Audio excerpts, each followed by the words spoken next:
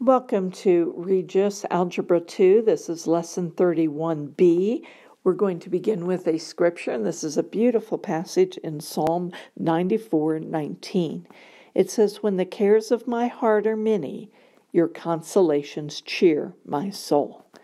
Now, cares of my heart, that would be anything that concerns me, anything that causes me distress or uh, stresses me or bothers me or worries me or or fears I have, whatever it would be. And and notice it says when. It's not if. We know that life is full of many, many, many concerns. And so when these things happen, if we take them to the Lord, we pray about them, they, we put them in His hand. It says, Your consolations, Lord, cheer my soul. So when we give our cares and concerns to the Lord, He brings to us peace and joy. It is the peace, it's supernatural. It really is because the rational mind would say, I should not be feeling peace in this situation. I should not have. It cheers my soul, it lifts my soul. I should not be feeling lifted up or encouraged in the midst of all that I'm going through right now or all that's happening in the world or in my own family or in my relationships or in my internal heart. All those things should not be making me feel peace and joy, and yet the Lord will give us that when we ask Him to. In fact, the scripture calls it the peace that passes all understanding, and no wonder, because it hardly makes sense that we could feel as steady as we do in the midst of life's circumstances. But so that's a wonderful promise, and I would encourage you to turn it into a prayer. Even pause just now. What is my care? What is my concern? What is stirring me up? Lord, I give it to you. I ask that you would instead fill me with your peace in the midst of whatever concerns me, because I am confident in who you are and that you are in control. Thank you. Amen. Now we're going to go ahead and look today at your answers for 9.2 and review some of the problems and techniques and move on to 9.3.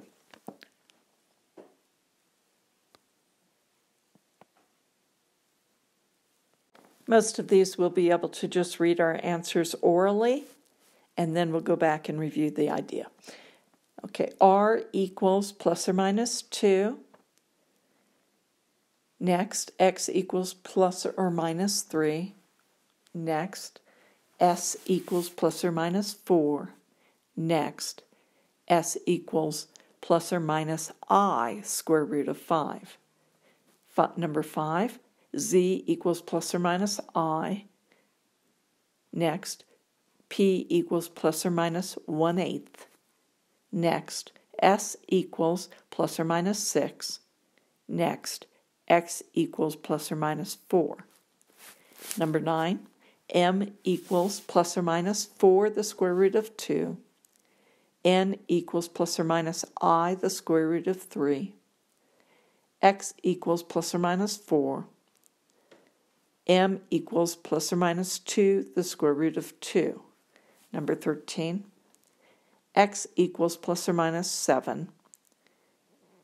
r equals plus or minus 2, the square root of 5. x equals plus or minus 2i, the square root of 2. k equals plus or minus 2i, the square root of 3. Number 17, x equals plus or minus 2, the square root of 5. Next, y equals plus or minus 3. Moving down to the word problems, your equation on number 24 should be x squared plus 25 equals 13 squared. And so your answer, that's squared,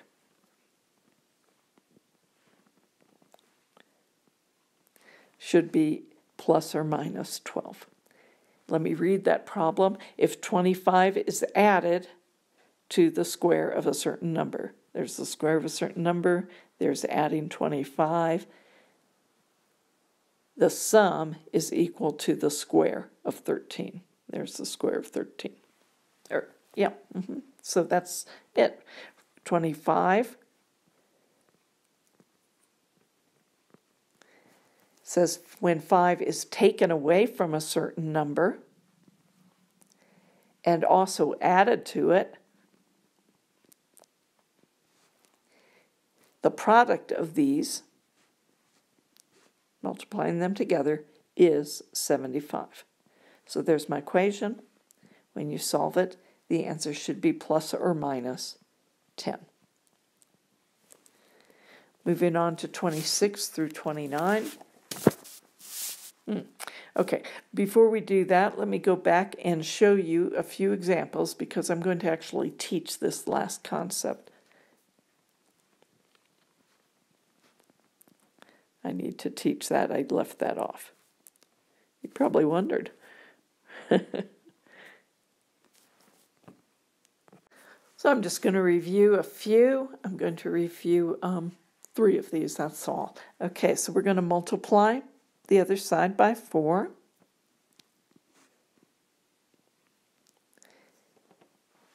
And we're going to take the square root, and the square root of 32 is going to be 16 times 2. And so this will become plus or minus 4, the square root of 2. Let's look at number 13. We're going to simply do what we normally do when we're solving problems. We'll take the x's to the left and the numbers to the right. We're going to get 2x squared equals, subtract out 25, and that'll be 98. I'll divide by 2. That'll be 49. I'll take the square root of both sides and we get plus or minus 7.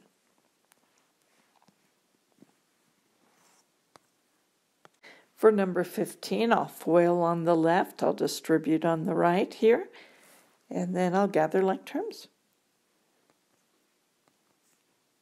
Notice when you have the same thing on the left and the right, you just want to cancel that out. I'll pull my x's to the left and my number to the right. Just recall when we are at this stage here, we're taking the square root of a negative, so that would be i, and 8, the square root of 8 simplifies to 2, the square root of 2. We typically write the constant before the i. Now, I would like to teach through the next idea on page 221, which is a little bit left over from this same section before I go on to 9.3 uh, 3. Now it says solve the inequality and graph on a number line. Now this is a review for us. We, if we have 2x squared minus 8 is greater than or equal to, that's the inequality. And recall our only rule that separates inequalities from equalities is that if you multiply or divide by a negative number, you must flip the inequality. So this becomes, if we divide by 2, we get x squared minus 4 is greater than or equal to 0. And then we're going to go ahead, take the 4 to the right side. We're adding and subtracting, so we don't we leave our inequality the same. Whoops. So squared is greater than or equal to 0, take the square, I'm sorry, we're taking the 4 over. There we go. Greater than or equal to 4, take the square root of both sides, and x is greater than or equal to square root of 4 plus or minus 2. Now, what does that mean when we try to graph this? If we have 0 and we have plus 2 over here and minus 2 over here, we're saying what? That it's greater than. So uh, greater than or equal to. So there's my point, and it has to be to the right of that to be greater than or equal to. On this side, if this is my point, it's negative 2, and the x has to be Okay, now this is the part that's kind of new. So what we'll do is we'll plot them as equal, right? x equals plus or minus 2. So those are my two points. Or if it would just be without an equal, we just put them as open circles. And now we test. Okay, let's go back to our original equation. If it's 3, I'd have 9 times 2 is 18 minus 8. Is that greater than or equal to? Yes. So I want to include that. So I shade there. What about something in the middle here? If I put a 0 in my original equation, I'd get 2 times 0 is 0 minus 8. Is negative 8 greater than or equal to? No. So I don't shade the middle. So I'm testing three times, three tests to figure out where the shading is. Okay by taking random values in the three intervals. The third interval is over here to the left of the first point, and let's say I'll take negative 3. Negative 3 squared is 9. 18 minus 8 is greater than, so I would want to share this, a shade this interval. So my final answer is because they're separated from one another, I can say x is greater than or equal to 2 or x is less than or equal to negative 2. And that's my answer. Let's go ahead and look at the next um, problem. Again, we're going to say uh, 2x squared plus 4x squared is less than or equal to 6. We'll gather our like terms. We'll divide by 6. We'll take the square root.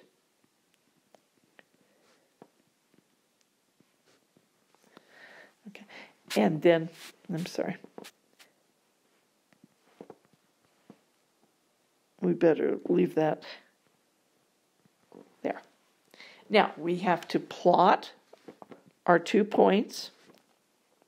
There's my zero. There's my one. There's my negative one. And now I'll test my three sections.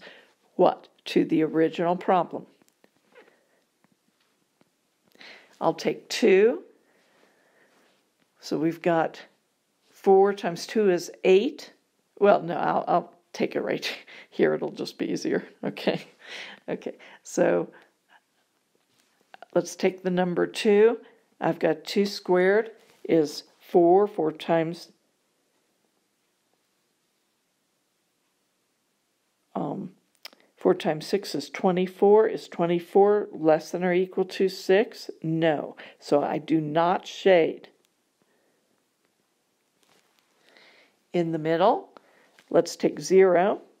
I'm going to have 0 times 6, or 0 is less than or equal to 6. Yes. So I will shade. And finally, I'll take a negative 2. That'll be 4 times 6, 24. No, it's not less than or equal to 6. So you must do this. You must do this step to figure this out. So what's my answer here? X is between. So I can write it this way. It's less than or equal to 1 and greater than or equal to negative 1. See how this differs here? Here I can write it as a combination statement, but up here, when it's when they're where they they're not the sharing the distance between them, but they're on the extremes. It has to be two statements with an or. Let me do another problem on the next page. We'll go over this a little bit quicker now. Notice on this problem in 28, I'm leaving an open circle because I don't have less than or equal to, I just have less than. So we'll test our three step um, areas now. So I think that probably gives you enough practice. Now let's go ahead and do 9.3, our new concept. That was a new concept, but we'll go ahead and do. So I'm not giving you practice problems for this, but make sure you know how to do that so you can review that. Okay. To make sure you would know how to do that on a test or quiz. All right, let's go to the new concept. Now this is solving by uh, quadratic equations by factoring. You've done lots of this. This is really just a review idea for you, so I'm just going to simply let you do a lot of review because it isn't always a very easy idea for students, so it needs a lot of review. But I'll just uh, simply demonstrate and talk you through a few problems because there's nothing new being taught here. Don't forget to set it to zero, the equation to zero. Okay, we're going to set it to zero and then we're going to factor. Thinking to myself, two numbers that multiply together to give me 12 and their sum, because it's a positive, they'll have the same sign, their sum will be 7. So that would be 3 and 4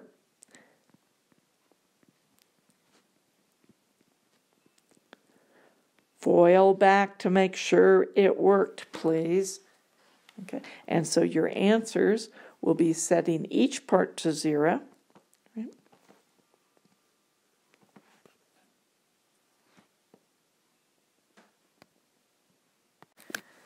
Okay, very similar problem here, but now we want two numbers multiply together to give me 12. They're the same sign, so their sum will be negative 7. So now it would just be y minus 3 and y minus 4. Why? Because if I foiled it back, first terms would be y squared, outer and inner would be minus 4y, minus 3y. That will give me my minus 7y, and multiplied together will give me, me positive 12 always foil back to make sure. Now, this time, when you set each one to zero, by that I mean you're saying y minus 3 equals 0. What does y must? y must be 3 or 4. I'm going to give you just a few more review problems. Again, there's nothing new about this, just reminding you. Let's take 3x squared. I believe I did this actually as I demonstrated. Maybe I didn't. I'm trying to remember why I would have. Maybe when I demonstrated it to begin with. Don't forget to set it to zero, and then we'll factor out a common factor. Now, when we have an inequality here, okay, um, go ahead and divide this into your three portions.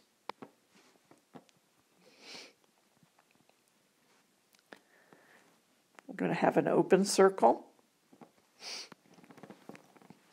It's, it's really um, not equal, right? But we're going to pretend that it's an equal sign to get this stuff. And we've got our three sections and figure out where your shading will be.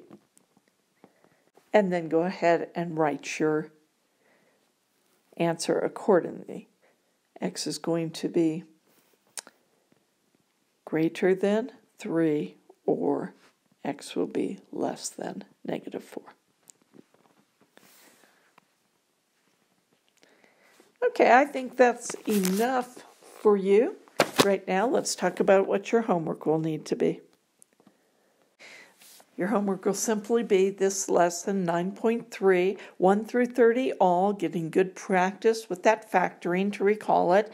We will be sending you a quiz by email and you will mail it back to us. Now, last lesson, 31A, I went over the homework that must be mailed by Friday. This is not included in that. So take this in a closed book environment, staple it shut, have your parents sign it, and you will not be required to mail this until I tell you about the next bundle to mail. Okay?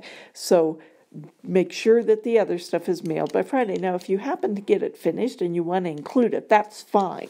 But Uh, it's not required to mail this yet. Just keep it handy because we don't want you to have to mail every single week. All right. God bless.